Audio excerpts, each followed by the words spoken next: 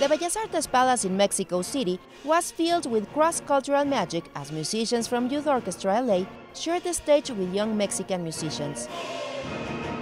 Under LA Philharmonic director, Venezuelan Gustavo Dudamel's baton, 200 children and young people between 10 and 23 years old connected through the universal language of music. Paolo was in charge of preparing them for this moment. Like 200 children uh, met at, in Monday and then started to build up this um, affinity, you know, like uh, a friendship, but also music uh, understanding and complicity. And finally, today, everybody were we were on stage in the in this amazing and historical, beautiful theater, sharing this music to the public.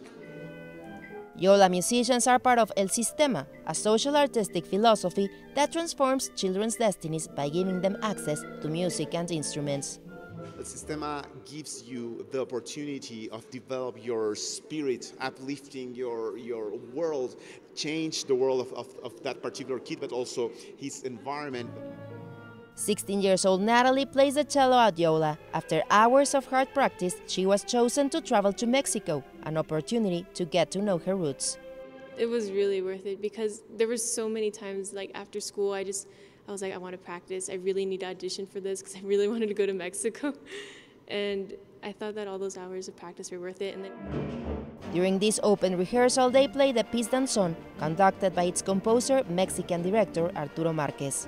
These young Mexican and American musicians put on with music and leadership workshops and taught master classes as a part of the Encuentros cultural exchange. The mix of strength, energy, and talent resulted in the construction of strong ties between the musicians from both countries.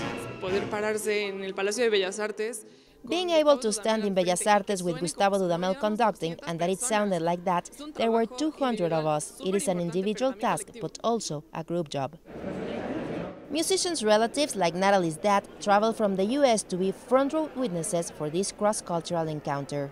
When I saw her here, when I saw uh, El Maestro Dudamel, it, it was an overwhelming feeling uh, uh, of excitement, of, of emotions. Uh, it, it was a roller coaster.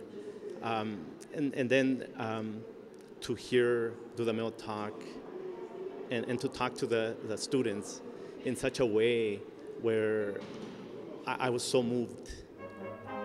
These activities mark an important milestone celebrating 50 years of brotherhood between Mexico City and Los Angeles. Paulina Gomez Bulshiner in Mexico City, U News.